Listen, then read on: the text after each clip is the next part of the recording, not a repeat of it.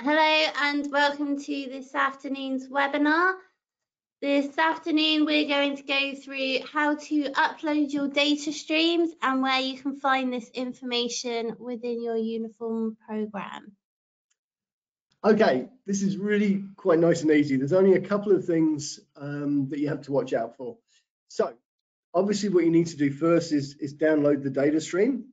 Um, and we recommend probably that you put it onto a USB stick or you put it onto your desktop.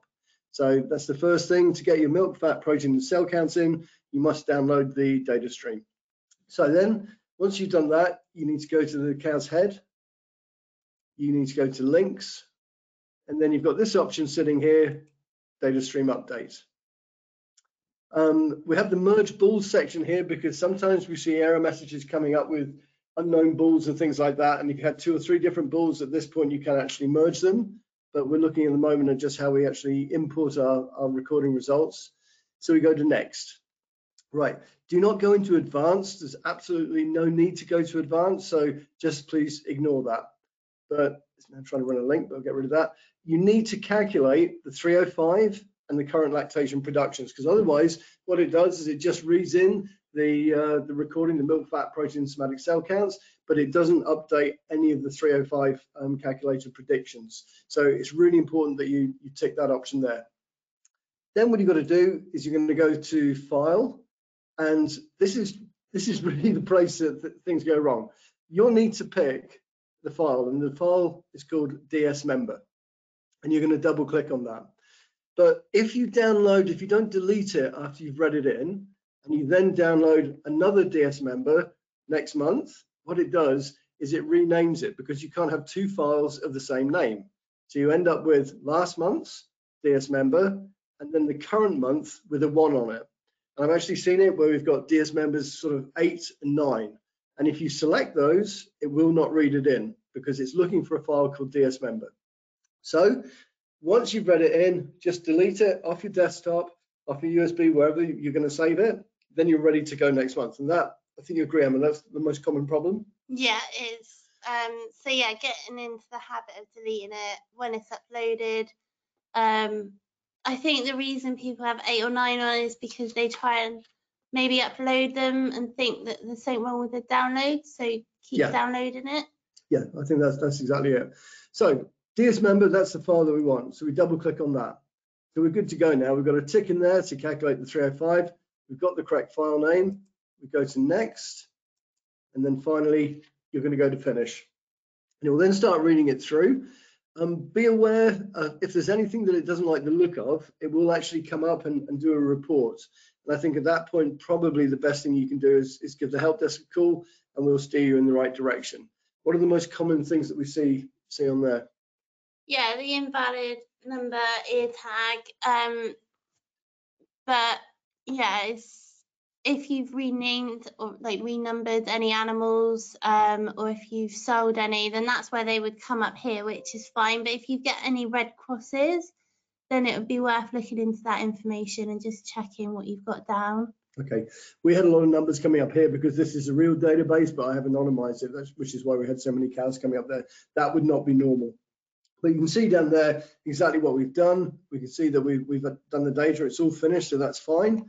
So we just go to OK and close, and that's it, we've read it in. So um, that's been read in. Where can we go just to look over that information that was in that file? Okay, if we go back to the dashboard, you'll see first of all on the on the um, dashboard here for the SVP for the milk recording, we can see that the current recording is in 26th of November. So that's the first place you can find it. If you go to the cow's head, go to milk management, and then go to milk recording analysis. We will do a separate webinar on this this report, but um, I think for those that don't have milk meters, this can be quite an interesting report because you'll see here, um, we read in the milk, fat and protein, and the colors are there basically if there's any exceptions or things that we're, we're not happy about. Fat and protein ratios, that can all be set up in properties. But you also have the SPP figure here. And this figure here, the deviation, this is showing that there's been a drop between this recording and the previous recording.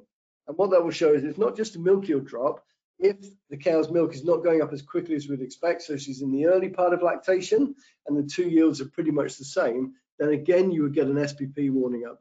So it's quite handy just to, to click on there and just bring up the cows just to keep an eye on uh, where you think there might be an issue or that there's not an issue. So that's important. Um, and then obviously you can just double click on the cow record. That will take you through and then you can compare, you know, what's actually going on. So that's the first place you can see it.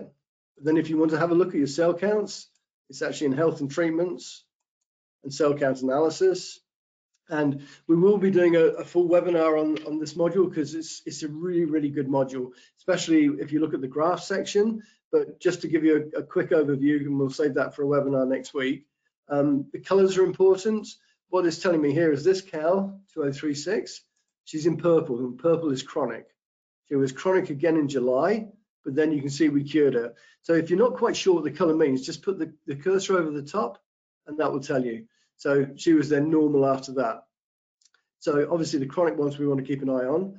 If we want to see the cow that gives gave the biggest contribution, if we just click on the column and click again, that's a very, very quick way of just being able to sort it.